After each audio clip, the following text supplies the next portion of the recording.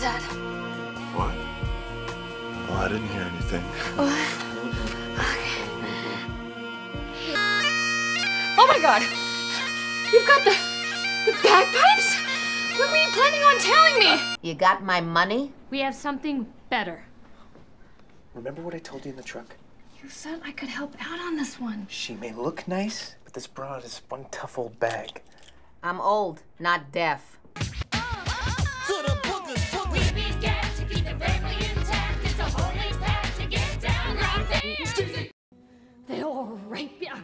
And then kill you, and then rape you again. I've seen it. For every single breath she took, she took one away from me. Worked so hard for her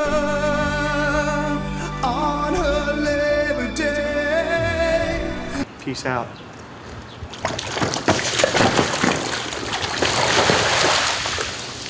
Come on, babe. Let's get some frozen yogurt. Oh, yum, yum, yum, yum. Let's ask Melinda.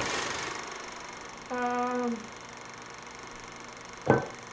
That's right. we're gonna go see if this folklore is real. Fadrar? What? I don't understand. I don't understand. I don't understand. And we can't get from the office space place to the kitchen place. Now you listen here.